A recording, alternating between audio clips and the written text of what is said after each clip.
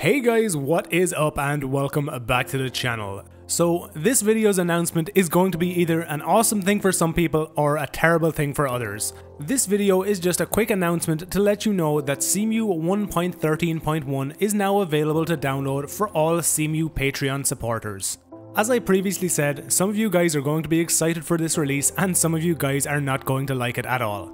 So let's cover the guys who aren't going to like it. So if you're like me and you have been eagerly awaiting the release of the new texture cache rewrite, unfortunately that is not going to be a part of this build, mostly due to the fact that it is still way way too buggy to go into any kind of mainline release. If you want to check the status of this texture cache rewrite, you can simply do so by heading on over to the CEMU Discord. There is a very specific channel on that Discord which is dedicated to the support and development of this texture cache rewrite. You can find a link to the CEMU official Discord in the description of this video. Okay, so let's take a look at some of the reasons why you should be excited for this new CEMU release. According to initial reports and some of my initial testing in games, this CEMU release has fixed tons and tons of sound issues in CEMU games. If you were not aware, there are several games that have fairly significant sound issues in CEMU emulator, some of these include but are not limited to Super Smash Bros 4, Pokken Tournament and Bayonetta 2.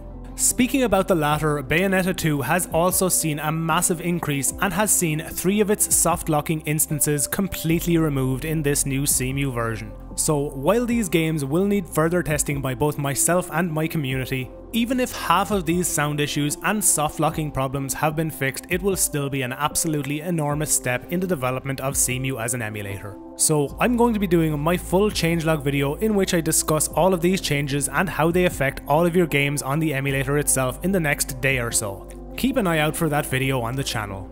Okay, so with this Patreon release coming today, the 28th of August, this means that the free public release is going to go live on September the 4th. So, as I have done in the past 4 or 5 months of CEMU releases, if you want me to test any of your games on this new CEMU release, all you'll need to do is leave your game title in a comment down below this video.